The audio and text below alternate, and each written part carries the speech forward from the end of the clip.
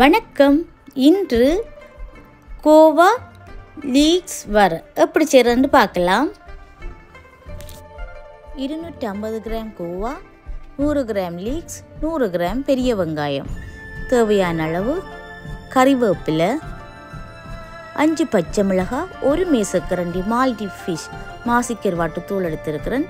நீங்கள் உங்களுக்கு தேவையான அளவு எடுக்கலாம். ரம்பையில்.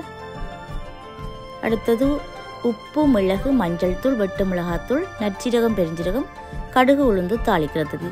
இப்போ இதுக்குள்ளே பஃப்லோக்கி ஒரு மேசக்கரண்டி தேங்காய் ஒரு அஹ், மேசக்கரண்டி எடுத்திருக்கிறேன். இந்த பஃப்லோக்கிக்கு பதிலாக நீங்கள் பசுனையும் சேர்க்கலாம்.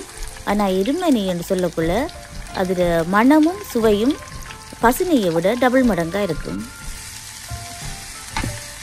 நல்லா வதக்குவோம்.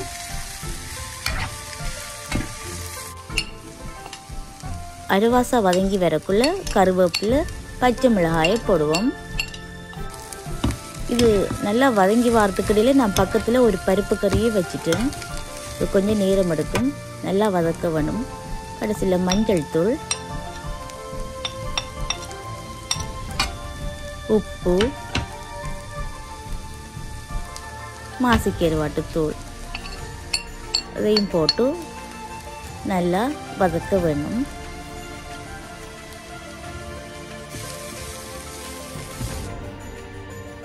கடைசியில் வெட்டு மிளகாத்தூள் சீரகத்தூள் போட்டு மிளகுத்தூள் நான் கால் தீக்கரண்டி போட்டிருக்கிறேன் மிளகுத்தூள் கொஞ்சம் தூக்கலாக இருந்தால் தான் டேஸ்ட்டாக இருக்கும்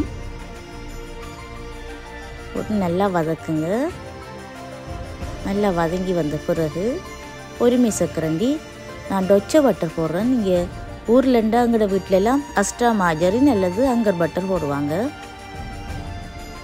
கடைசியில் அடுப்பு பண்ணிவிட்டு தேசிக்காய் புளி தேவையான அளவு. சரி இப்போ லீக்ஸ் கோவா வர ரெடியாகிவிட்டது. நன்றியுடன் தீபாரமணன்